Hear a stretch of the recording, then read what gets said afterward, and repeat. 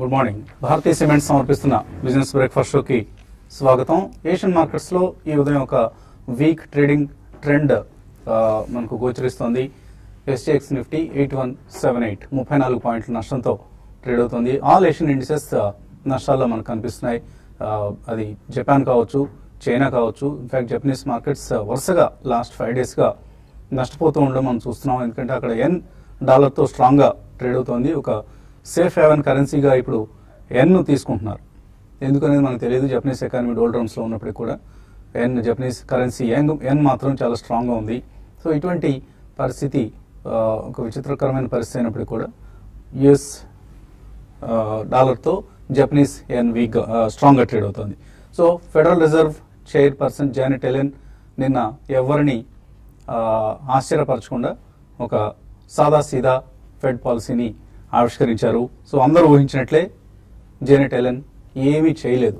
So point two five to point five percent వడ్డీ రేట్ల regime ఏదైతే ఉందో అమెరికాలో గత కొన్నేళ్ళుగా రెండు వేల పన్నెండు నుంచి ఆల్మోస్ట్ కొనసాగుతున్న విధానం ఇది. సో అదే పద్ధతిని కొనసాగించాలని నిర్ణయించారు. అండ్ రెండు వేల పదహారుకు సంబంధించి ఇక ఒక్క వడ్డీ రేటు పెంపు మాత్రమే ఉండొచ్చు అన్న ఒక సూచన కూడా నిన్న రెండు రోజుల సమావేశం నుంచి మనకు అందిన సమాచారం.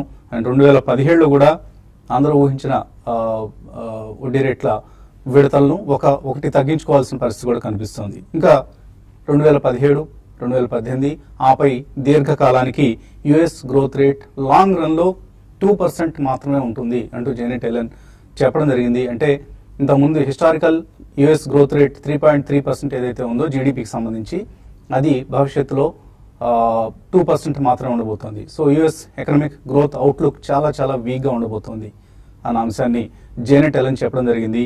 సో ఫెడరల్ రిజర్వ్ ఈవెంట్ ఒకటి అయిపోయింది. ఇక నెక్స్ట్ ఈవెంట్ కోసం మార్కెట్స్ ఎదురు చూస్తుంటాయి. ఒక ఈవెంట్ అయిపోతే నెక్స్ట్ ఈవెంట్ కోసం ఇప్పుడు ఎదురు చూస్తుంటాం. ఈవెంట్ నిన్నటితో అయిపోయిన ఎఫ్ఓఎంసీ సమావేశం ఇక హిస్టరీ నెక్స్ట్ మళ్ళీ నెక్స్ట్ మీట్ వచ్చినప్పుడే యుఎస్ ఫెడ్ డెసిషన్స్ గురించి అందరం మాట్లాడుకుంటాం. సో నెక్స్ట్ ఈవెంట్ ఏంటి అంటే బ్రిటన్ ఎగ్జిట్ లేదా బ్రెగ్జిట్ సో బ్రెగ్జిట్ కోసం ఇప్పుడు అందరూ ట్వంటీ థర్డ్ రోజు బ్రిటన్ యూరోపియన్ యూనియన్లో ఉండాలా వైదొలగాలా అన్న అంశానికి సంబంధించి ఆ దేశంలో ఒక రెఫరెండం నిర్వహిస్తున్నారు. దేశ ప్రజలందరూ కలిసి ఆ రెఫరెండంలో ఓట్ చేసి యూరోపియన్ యూనియన్లో బ్రిటన్ ఉండాలా లేదా అన్న అంశాన్ని నిర్ధారిస్తారు. ఇప్పుడు ఉన్న ట్రెండ్ బట్టి చూస్తే ఎక్కువ మంది బ్రిటన్ యూరోపియన్ యూనియన్ నుంచి ఎగ్జిట్ కావాలని కోరుకుంటున్నట్లుగా తెలుస్తుంది. సో అదే జరిగితే రకరకాల పరిణామాలు ప్రపంచ చిత్రపటంలో చోటు చేసుకోబోతున్నాయి. ప్రత్యేకించి యూరోపియన్ కాంటినెంట్కి సంబంధించి అది ఒక యూరోప్తో ఆగదు. ఎందుకంటే ఇది గ్లోబలైజ్డ్ వరల్డ్ సో అన్ని ఖండాలకు ఇంక్లూడింగ్ ఏషియా లాంటి ఖండాలకు కూడా విస్తరిస్తుంది ఆ ప్రభావం.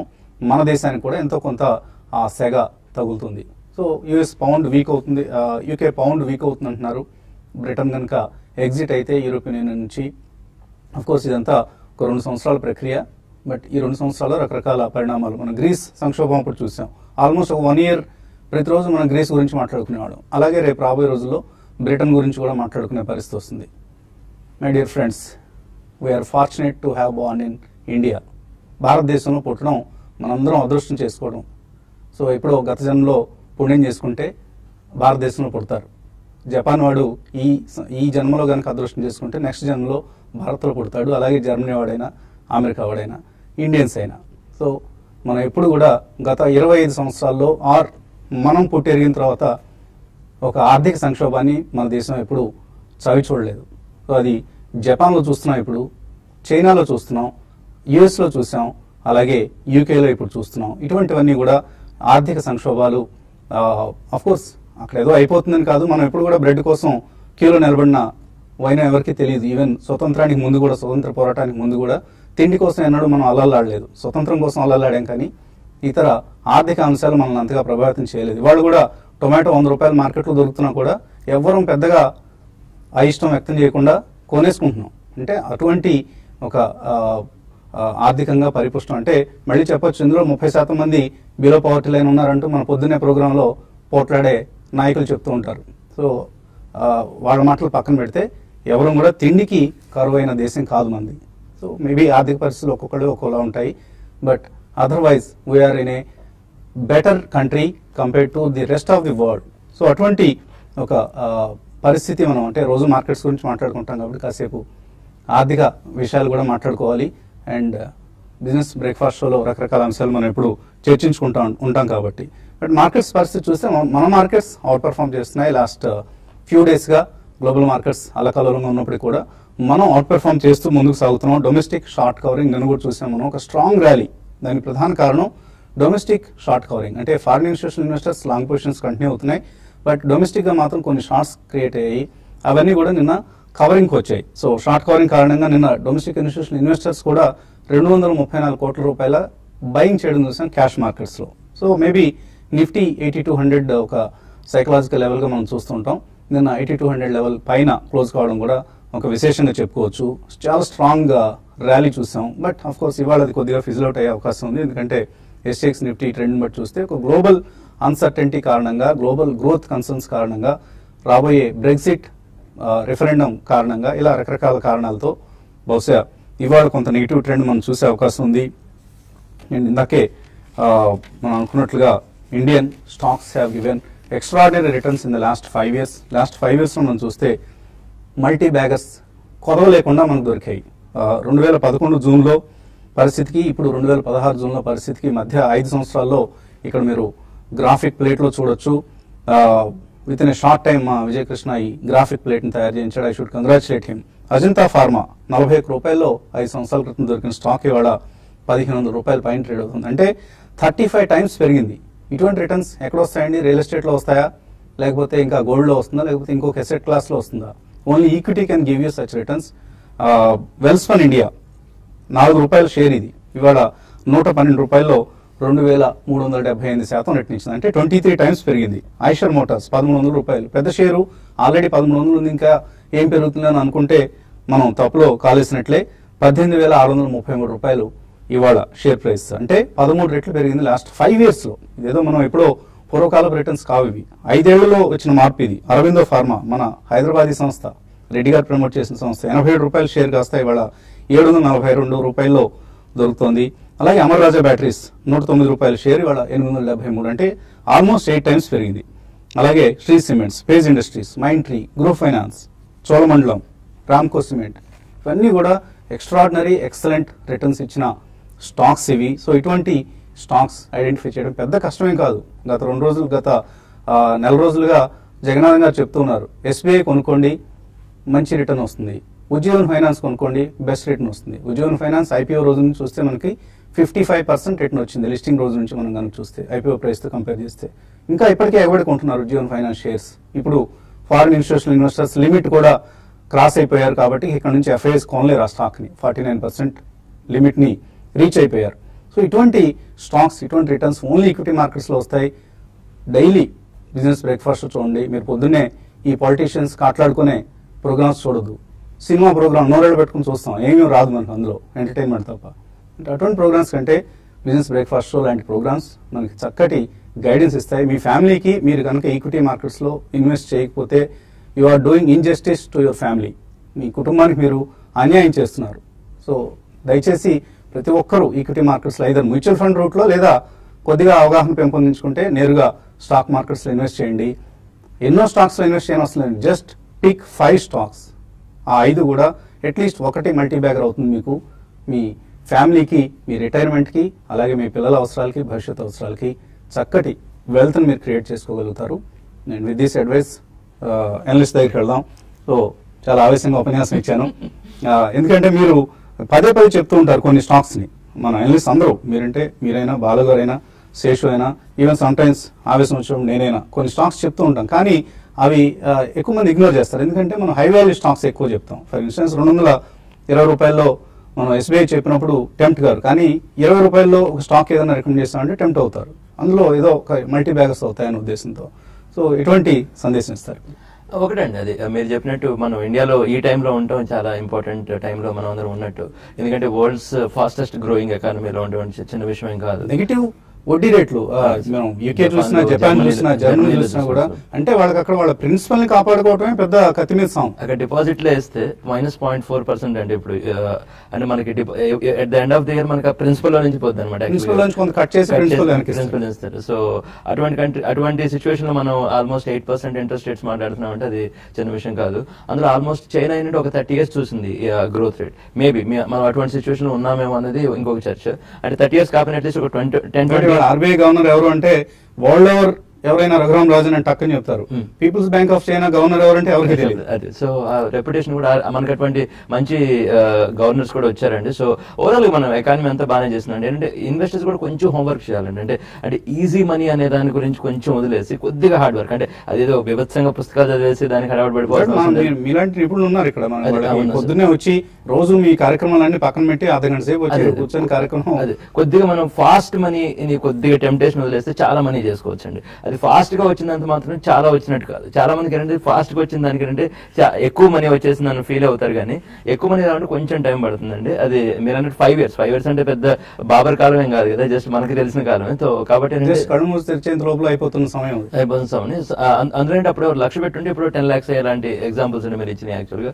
సో అంటే లైఫ్ చేంజింగ్ మూమెంట్స్ అన్నట్టు అనుకోవచ్చు అనమాట. సో ఓవరాల్గా చెప్ప చెప్పని అంటే చాలా మంచి ఆపర్చునిటీస్ ఉన్న మార్కెట్ అండి. అందులో ఒక five hundred six hundred excellent liquidity ఉన్న షేర్స్ ఉన్న మార్కెట్ చాలా తక్కువ కంట్రీస్లో ఉంటుంది. ఇప్పుడు మిగిలిన ఎకానమీ ఏషియన్ ఎకానమీస్ చూసుకున్నా అక్కడ ఇన్ని కంపెనీస్ ఉండవు. ఇప్పుడు ఇండోనేషియా ఉందనుకోండి మొత్తం యాక్టివ్ స్టాక్స్ టూ హండ్రెడ్ మనకి యాక్టివ్ స్టాక్స్ ఒక థౌసండ్ కంపెనీస్ ఉన్నాయి. అంటే మనకి ఆప్షన్స్ కూడా ఎక్కువ ఉన్నాయి అనమాట ఫార్మా కావాల్సినట్టు ఫార్మా చూసుకోవచ్చు ఆటో కావాల్సినట్టు ఆటో చూసుకోవచ్చు బ్యాంక్స్ కావాల్సినట్టు బ్యాంక్స్ చూసుకోవచ్చు.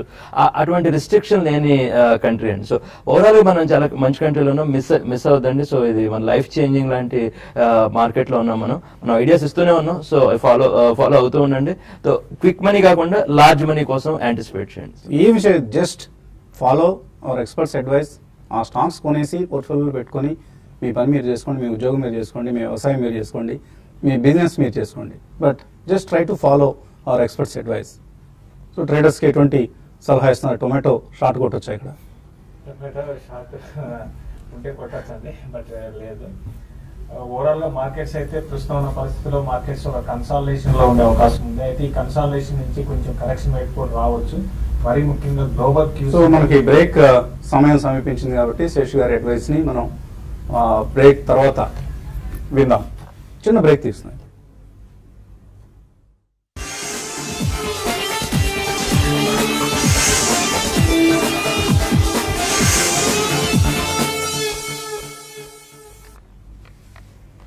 భారతీయ సిమెంట్స్ సమర్పిస్తున్న బిజినెస్ బ్రేక్ఫాస్ట్ షోకి తిరిగి స్వాగతం. ఎస్ఎక్స్ నిఫ్టీ ఇరవై ఐదు పాయింట్ల నష్టంతో కనిపిస్తుంది. ఎయిట్ వన్ ఎయిట్ సిక్స్ దగ్గర ఒక వీక్ ఓపెనింగ్ కోసం మార్కెట్స్ సిద్ధమవుతున్నాయి. సో ఎటువంటి ట్రేడింగ్ ఐడియాస్ ఇస్తున్నారు ట్రేడింగ్ పరంగా చెప్పాలంటే మార్కెట్స్ కొంత వీక్గా ఉండే అవకాశం ఉంది. ఈవెన్ క్లోజింగ్ బేసిస్లో కూడా వీక్గా ఉండొచ్చు. మనకి నిన్న చూసాం ఎయిట్ థౌసండ్ టూ హండ్రెడ్ పైన సస్టైన్ అయింది. బట్ ఇమీడియట్ గానే ఈ రోజు గ్లోబల్ కిస్ అన్ని కూడా వీక్గా ఉన్నాయి. కాబట్టి మళ్ళీ ఫ్రెష్గా బై చేసుకునే అనుకోవాలి. కొంచెం వెయిట్ చేసి బై చేసుకోవచ్చు. ఓవరాల్గా మన market buy and dips market గానే అనుకోవచ్చు.